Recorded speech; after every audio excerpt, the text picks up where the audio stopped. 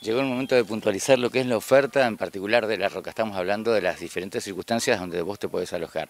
Obviamente baños aledaños a estos dormis, y los dormis son la alternativa para parar si no querés acceder a una cabaña, si son poquitas, si son dos personas. Una persona, esto tiene adentro un somier espectacular nuevo y ventiladores para que vos puedas disfrutar de un descanso pleno acá. Obviamente te pasas todo el día en la pileta, todo el día dando vueltas en el predio, en las bicicletas aéreas que recorren todo el predio y definitivamente a la noche descansás muy cómodo, con parrillitas aledañas a cada uno de estos dormis. Pero ahora vamos a conocer una perlita, que son los dormis que están arriba, que ya tienen aerita, que son muy singulares. Vení, acompáñame.